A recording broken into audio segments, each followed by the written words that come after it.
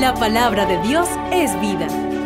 Ilumina nuestro corazón y alimenta el alma. Radio Natividad presenta el Evangelio de hoy. Un saludo a todas las personas que nos sintonizan a través de su Radio Natividad. Les habla Fray Jonathan Pedrosa de la Comunidad de los Padres Carmelitas Descalzos. El día de hoy estaremos comentando el Evangelio de San Mateo, el capítulo 16 de los versículos del 13 al 19.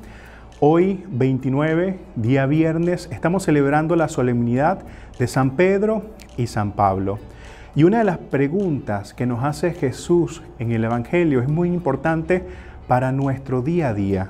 Dice Jesús, ¿y ustedes quién dicen que soy yo? Desde, ese, desde esa experiencia que cada uno de nosotros va viviendo en su día a día, en su trabajo, en sus hogares, en, en las universidades, en los colegios, en los lugares donde ustedes puedan desenvolverse. ¿Quiénes decimos nosotros? ¿Quién es Jesús en nuestra vida? ¿Qué es lo que estamos nosotros transparentando en cada uno de esos ámbitos en los cuales nos desenvolvemos?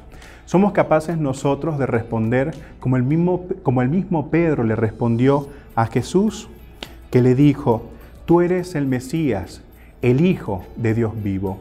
Esta respuesta solo la puede dar alguien que verdaderamente ha contemplado la gracia y la presencia de Dios en su vida, el poder contemplar en Jesucristo al verdadero Hijo de Dios, contemplar en su vida pues esa riqueza profunda que brota de esa experiencia con Jesús. Por eso, hermanos y hermanos, en esta solemnidad que estamos celebrando, que seamos capaces nosotros, como Pedro, de dar esa respuesta a Jesús, de que con nuestra vida podamos nosotros dar testimonio de que Jesús es el Hijo vivo, de que Jesús realmente está presente y actuando en medio de nuestra vida, en medio de cada uno de esos lugares en los cuales nosotros estamos. Pues pidamos la intercesión de estos santos apóstoles para que en medio de nuestra vida podamos nosotros también dar testimonio de Jesús.